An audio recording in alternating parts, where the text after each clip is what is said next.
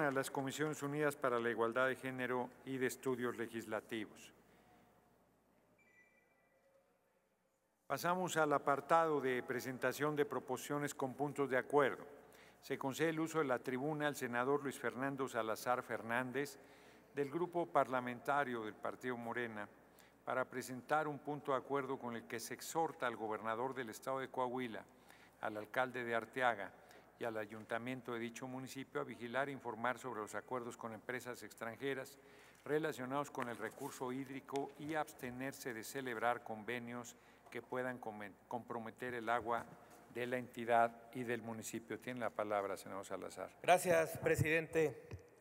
Compañeras y compañeros senadores, el día de hoy yo vengo aquí a, a esta tribuna del Senado a pedir que el Senado de la República se sume a la defensa del agua en Coahuila. En nuestro estado hemos padecido las consecuencias de la privatización y la entrega del servicio de agua a intereses extranjeros. En el año 2001, el municipio de Saltillo creó, mediante una licitación tramposa, una licitación pública internacional donde nada más participó Aguas de Barcelona. Cuento todo esto porque tengo que explicar el, antecedente.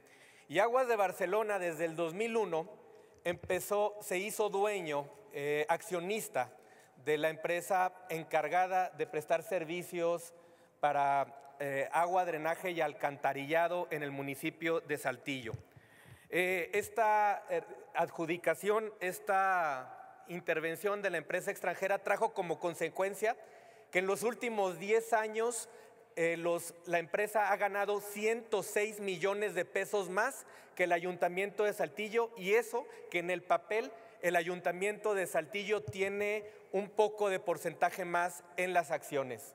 También eh, algo muy paradójico que quiero denunciar aquí es que desde el quinto año el municipio de Saltillo tenía derecho a ir adquiriendo acciones.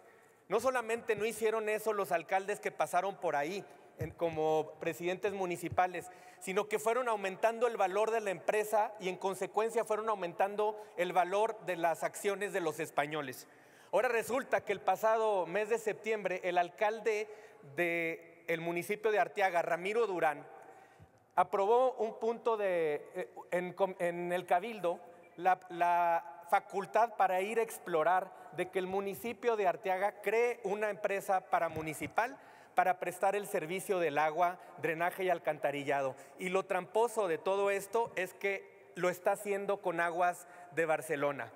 Yo desde aquí quiero advertir que desde que llegó Aguas de Barcelona y llegaron los españoles a administrar el agua de Saltillo, eh, hemos tenido el agua cara, se han aplicado nada más en un año 100 mil recortes y cortes a los usuarios de un universo de 220 mil.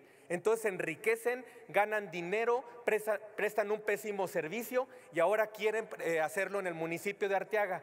Y yo vengo a advertirles el día de hoy esta tribuna que paremos esto, que exhortemos al alcalde, que exhortemos al gobernador de Coahuila para que detenga este robo en despoblado. Este Senado está defendiendo los intereses de los mexicanos. Regresamos los ferrocarriles, regresamos a Pemex, regresamos a la Comisión Federal de Electricidad, pero en Coahuila el gobierno priista que nos tiene allá eh, sometidos en la corrupción, allá quieren seguirse, ahora robarse el agua. ¿Y qué sigue? Mira nada más. Eh, hace poco se invirtieron 13 mil millones de pesos en un proyecto muy grande, muy generoso y muy ambicioso para traer agua a la laguna. La traemos en 64 kilómetros de acueductos, llega al municipio de Lerdo, Durango, y se distribuye a todos los municipios de la laguna de Coahuila de Durango beneficia a 1.600.000 habitantes. Esta fue una acción del expresidente Andrés Manuel López Obrador. Y después de dar solución a un problema añejo de más de 50 años, donde se terminaron el agua por el uso indiscriminado allí en la laguna, ahora resulta que cuando hay agua están haciendo esto en Arteaga porque en realidad se quieren robar el agua de Torreón.